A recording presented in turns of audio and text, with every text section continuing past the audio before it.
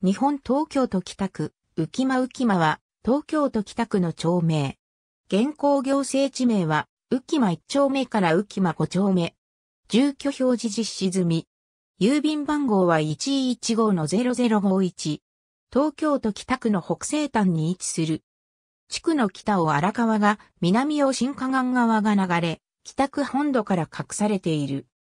北は荒川を挟んで埼玉県川口市荒川町、戸田市荒川邸外、東は赤羽北、南を新河岸側を挟んで対岸にあずさは、東坂下、西を板橋区船戸と接する。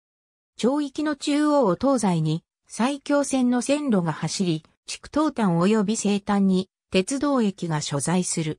荒川河川敷にあたる北端は広大な河川敷緑地が広がる。水運を利用した中小の工場も多数立地している。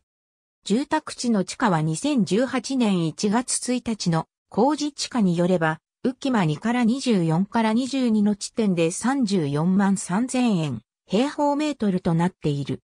1926年に埼玉県北足立郡横曽根村から東京府北豊島郡岩淵町に編入された。浮間は従来は埼玉県川口市や戸田市のように荒川左岸であったが、荒川の稼働を変更し、浮間は荒川左岸の旧横曽根村から分断されて荒川右岸に位置したことにより、浮間は地理的に旧岸淵町と陸続きになったことによる。荒川に突き出た形が浮島に見えたことから起きた地名。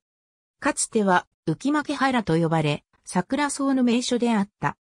この桜草の自生地は現存しない。2017年12月1日現在の世帯数と人口は以下の通りである。区立小中学校に通う場合、学区は以下の通りとなる。ありがとうございます。